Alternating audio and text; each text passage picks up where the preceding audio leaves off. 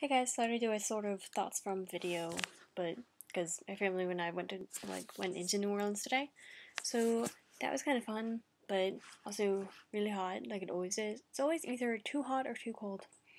Hmm. But anyway, um, I have to make this really fast because I have to get ready, because we are going to the Green Lantern midnight premiere.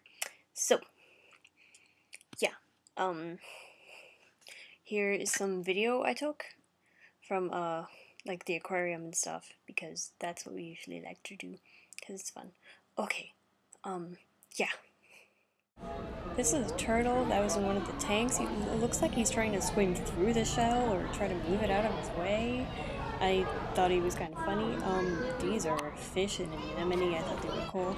These are jellyfish. In case you can't tell, they're totally jellyfish. And yeah, you can see like currents running through them. This is a ferry. Ferry. It is on the Mississippi. It is a ferry from New Orleans to Algiers. I think it's really boring, but I don't know. Yeah, it's my mom and my brother. Those are some trees that are not normally underwater. That is the view from the ferry of St. Louis. Uh, that is the Riverwalk, where we ate Cafe Du Monde, which I did not really later, film. Ah, bye.